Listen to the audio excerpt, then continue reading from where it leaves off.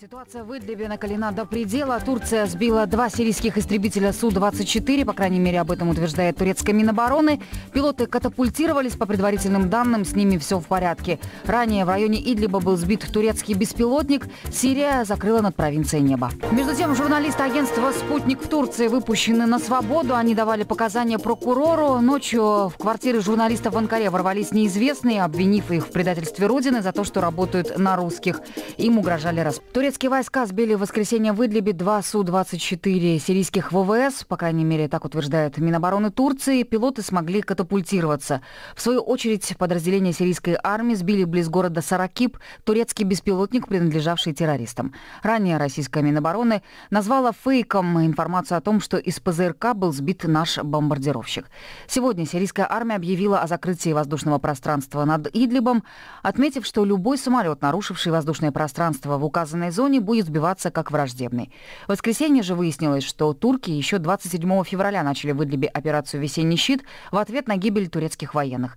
Еще недавно обсуждались возможности для мира. 5-6 марта в Москве должна состояться встреча Путина и Эрдогана. Последние события мы обсудили с председателем Президиума Совета по внешней оборонной политике, главным редактором журнала «Россия в глобальной политике» Федором Лукьяновым. С ним беседовала Татьяна Калинина. Во-первых, надо понимать, что идет столкновение, которое сейчас, как и во всех других случаях, сопровождается мощнейшим информационным шумом и нагнетанием. Поэтому вот все эти вот сыпящиеся новости сбили, закрыли, угу. поразили, это все надо, как говорят, делить на несколько. Что там в итоге, каковы будут результаты этой кампании, мы узнаем чуть позже, когда схлынет вот, этот вот, вот эта пена. 5 числа уже объявлен визит Эрдогана Эрдогана в Москву. С ним поедет э, вся верхушка Минобороны, МИД и разведка. То есть понятно, что будут опять очень серьезные переговоры, как дальше будут складываться взаимоотношения России и Турции в Сирии. Довольно примечательно, что вначале Эрдоган объявил о том, что он ждет Путина в Стамбуле 5 числа, mm-hmm. а в результате, ну, как, собственно, и ожидалось, он едет в Москву. Понятно было, что Путин ни при каких обстоятельствах на поклон к султану, так сказать, не поедет, а если что, то готов принять просителя у себя преддверии этих переговоров турецкая сторона стремится создать более благоприятные переговорные позиции для себя. А это производится путем успехов, э, что называется, на земле. Поэтому вот эта вот атака, ответная на успехи сирийских войск и российской авиации за последние пару месяцев, это желание максимально отодвинуть обратно, нивелировать то, чего достигли сирийцы, и уже с этих позиций вести торг. То, что торг будет идти, это очевидно. То есть никакой войны между, там, чтобы не говорили какие-то заполошенные комментаторы, никакой войны речи быть не может России и Турции. Ну, вот вчера а, советник вот... Эрдогана Месуд Хаки сказал, что мы, говорит, 16 раз уже воевали, и можем 17 раз это сделать. Нет, ну, знаете, у нас тоже на машинах пишут, можем, можем повторить, это же не значит, что мы идем на Берлин опять. А это тоже пропаганда, все понятно, психологическая война. А некуда деваться друг от друга России и Турции в Сирии и договоренности почти неизбежны. Есть, конечно, шанс, что закусываются у дела, ну и там уже рациональное начинает отступать. Когда речь идет о лидерах такого темперамента, как Эрдоган, ну, исключать это полностью невозможно. Но мне кажется, что все-таки этого не будет, иначе бы он не ехал. И с российской стороны как раз появляется максимальная хладнокровие и расчетливость. Сдержанность. Никто не хочет э, обострять. Там есть масса других факторов. Там, например, как говорят на жаргоне, под замес попал Иран. Иранские силы и проиранские, типа Хизбаллы, угу. они воюют вместе с сирийцами. А у них, собственно говоря, к туркам нету претензий. Но теперь получилось, что они под огнем, и уже есть погибшие. А Иран это дико напрягает. А будет Москва реагировать, вот если подтвердится, что действительно турки сбили сирийский самолет? Я бы прям вот стопроцентно на веру заявление турок не брал, потому что участвуют там российские самолеты или какие-то подразделения или нет, мы не знаем. Если турки скажут, что в ударах участвуют русские, они тогда должны, ну, не сирийцев объявить враждебными. Воевать союзником а, своим. Да, воевать, да. ну, союзником мы, не, не, не дай бог, ни в коем случае не ну, союзники. Ну, по крайней мере, но, согласно Сочинскому меморандуму, мы все-таки ну, какие-то союзники. Но, там, но дело даже не в том, партнеры или не партнеры, а в том, что это абсолютно другой масштаб боевых действий и совершенно другая сила. Сирийские войска для Турции легкий противник, достаточно. А вот Россия нет. Поэтому я думаю, что что бы там на самом деле ни было, Турция будет до последнего избегать упоминания о том, что есть прямое противостояние. Потому что это очень обязывающее заявление. За этим ну, что-то надо делать. Нельзя mm-hmm. просто сказать, нас русские атакуют, а мы вот сидим и ждем. В самой э, Турции ночью э, ворвались, э, правда, в квартиры турецких сотрудников, неважно, спутника, обвиняли в том, что они предатели Родины, работают на русских. Сейчас их задержали. Это очень прискорбно и отвратительно, потому что мы видим буквально полное повторение в турецком варианте истории Вышинского на Украине, потому что их обвиняют в публикации, посвященной истории. Понятно, что это чистая вода провокация. Что касается перспектив э, того, как отношения с Турцией будут складываться у нас, все возлагают надежды вот на этот э, разговор Путина с Эрдоганом. Федор Лукьянов, сейчас в стамбульском офисе российского агентства «Спутник Турция» проходит встреча адвокатов и сотрудников нашего генконсульства с турецкими полицейскими. Перед этим был задержан главный редактор бюро, а одновременно полиция проводит обыски в офисе «Спутника», причины которых пока не называют. Ранее полиция задержала в Анкаре трех турецких сотрудников «Спутник Турция». Причиной якобы стала публикация на сайте агентства под заголовком «Украденная провинция. Почему Франция передала Турции часть Сирии 80 лет назад». Речь о провинции Хатая-Сасджо. Этот регион отошел к Турции в 1939 по договоренности с Францией, которая в то время управляла Сирией в качестве подмандатной территории.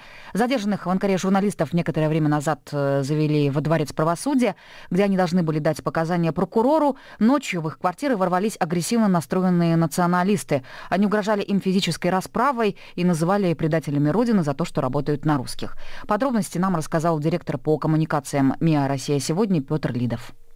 Вчера вечером в квартиры наших троих сотрудников в Стамбуле попытались вломиться группы протестующих граждан со всякими националистическими лозунгами и так далее. Те, соответственно, вызвали полицию. Полиция пригласила всех в отделение, где они были задержаны. С ними до сих пор нет связи, но мы понимаем из наших источников, что им пытаются предъявить там некие обвинения. Возможно, сегодня будет заседание суда, которое должно решить по мере пресечения. Параллельно с этим сегодня с утра в офис к нам в Стамбуле пришли полицейские, пришла полиция, там находились дежурные сотрудники, полиция попросила встречи с руководством, сказала, что будет ждать. Руководство приехало, приехал наш э, руководитель представительства России сегодня, там Максим Дурнев туда вместе с представителем консульства Министерства иностранных дел и с адвокатом. Вот у нас задержан был у себя дома главный редактор, спутник Турции, ждет приезда адвоката. Мы, естественно, моментально обратились и в МИД, и в международные организации. Высказался Арлем Дезир, он отвечает в ОБСЕ за соблюдение прав журналистов.